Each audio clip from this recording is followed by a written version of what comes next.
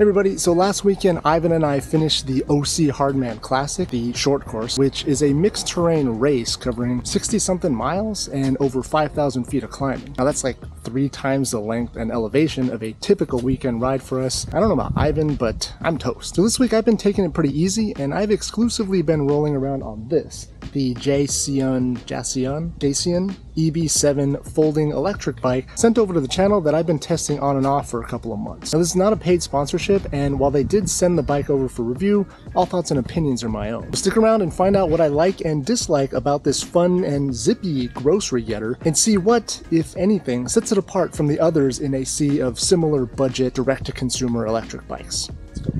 The EB7 features a 500 watt hub motor, good for a top speed of up to 20 miles an hour. It's powered by a 48 volt, 10 amp hour removable battery that sits in the rectangular top tube or down tube, whatever you call this part of the frame. Now the claim is 20 to 40 miles per charge, but we'll see about that in just a minute. It's got a 7 speed Shimano derailleur in the rear. It's got compact 20 inch wheels with a 3 inch wide tire. Now the frame set, check this out, is full suspension. So you get 80 millimeters of front travel on the basic kind of looks like a Suntour fork, and an undisclosed amount of rear travel in the kind of industrial looking rear shock. Now, does it work?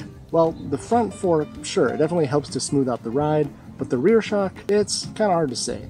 I can get it to move a little bit when it's stationary, but the actuation isn't super smooth, and I kind of feel like a rigid frame would have just been fine. It's got mechanical disc brakes, which actually work pretty well to stop the 59 pound bike. Yeah, I know it's not particularly light. It also comes with a really solid rear rack, some plastic fenders that I didn't really bother with, and also a light and horn combo for the front. It also features a simple yet well-designed head unit that displays key information like current speed, current assist level, battery level, and odometer, and is bright enough to see in direct sunlight. The whole bike folds up too, so you can put it in a car or store it a little bit more compactly, I suppose. Although if you're imagining those older Dahon folding bikes or like a Brompton folding bike, while the Jasion folds in a similar manner, it's definitely not compact when folded up. It will probably fit in the trunk of most cars, but it wouldn't be practical for a bus or a subway commute. Did I mention it's also 60 pounds? Now on days like today when my legs are still rubber, the ability to use the throttle and just go is,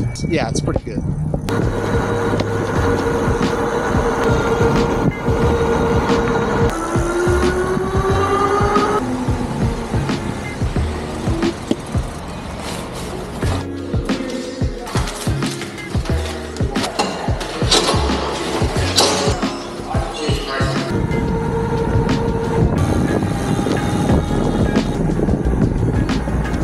See how it does on the hill climb.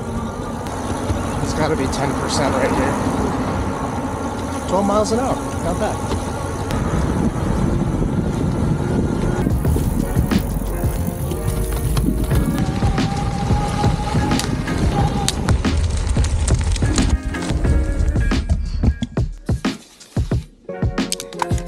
Okay, so what do I really like about this bike? I do like that it's relatively compact and it's just pure function with plenty of power and range. Actually, speaking of range, the claimed 20 to 40 miles on Jasion's website is probably in pedal assist mode as opposed to full throttle mode and at a lower assist level like a 1 or a 2. So I can't actually speak to whether or not you get that full range since if we're being totally honest, I've pretty much only been riding it around at level 5, which is the maximum level. Now, in this rather extreme case, I've been getting roughly 15 miles on a full charge, which actually isn't too bad considering I'm basically just running it full blast 100% of the time. Actually, I'm going to cut in here for a second. I've actually been getting 15 to 20 or so miles on a charge. So that's per charge. That doesn't mean I'm letting the battery totally drain. I usually charge the battery when it gets down to about one bar and there are five bars. So I would say easily the capacity at full blast, again, level five, is probably 20 to maybe 22 or 23 miles. Okay, that's it.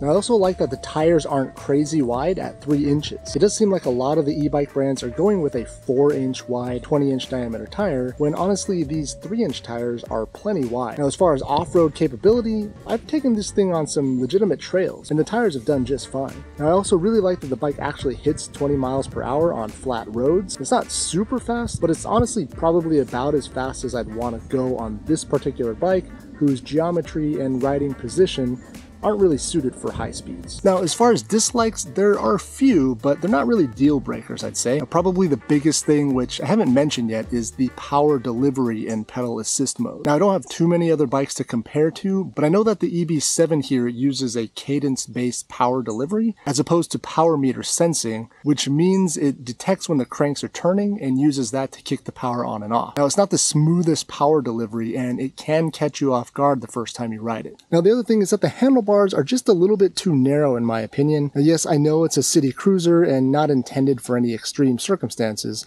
but a slightly wider handlebar would definitely give me more confidence, especially when I go off-road. And then there's the rear suspension. I just really don't see a need for it. I think maybe I felt the benefit of it once or twice when rolling over an unexpected bump, but it's nothing like a rear air shock on a modern mountain bike. Now I think a well-designed rigid rear triangle would help a lot to shed some weight, and I really don't think anyone would miss the rear shock at all. And lastly, this one is up for debate, but I don't actually think it needs to be a folding bike, to be honest. Now, I definitely get the appeal of a folding bike, like a Brompton, for instance, where you can actually fold the thing up and easily carry it onto a bus or a train. But this EB7, even after you fold it, it's still 60 pounds. So you're not going to use it as a long distance commuter and be able to get it on and off public transportation very easily. Now, probably the biggest benefit is that when it's folded up, you can probably fit it into a trunk of a car, which you probably otherwise couldn't do. But I think that may be the only instance when the folding function of the EB7 is actually valuable. So those are some of my thoughts on the Jasion EB7 electric bike. There are tons of other e-bikes in this sort of compact 20 inch category but I think what I like about the EB7 is that it strikes kind of a decent balance in this space. It's not the most powerful or the highest capacity, but it's also cheaper than a lot of the other options at $1,000 US in mid to late 2022. I also like the slightly narrower but still pretty wide tires, and I like that it uses alloy spoked wheels as opposed to some of the bikes which use those plastic mag type wheels. I also like that it's pretty low maintenance. It uses standard off the shelf drivetrain components, and it's really pretty easy to get up and going. Now, at the end of the day, it's all around just a really fun bike to ride. And if you can get the idea of performance out of your head, and just treat this like a practical city moped, good for running errands and cruising around town, then it's a pretty solid value for what you get. All right, well, that's to wrap it up for this one. I know this one was different. I am to get back to our normal content, whatever that is, over the next few weeks. I have a review of the Goodyear connector gravel tires in the pipeline, as well as some more stuff on the Redshift shock stop versus Future Shock suspension systems. And then I also have a longer term review on the Loon Grapid 700C carbon wheels, so, you know, stay tuned for all that. Thanks for watching, and thanks for subscribing to the channel if you haven't already, and I'll see you next time.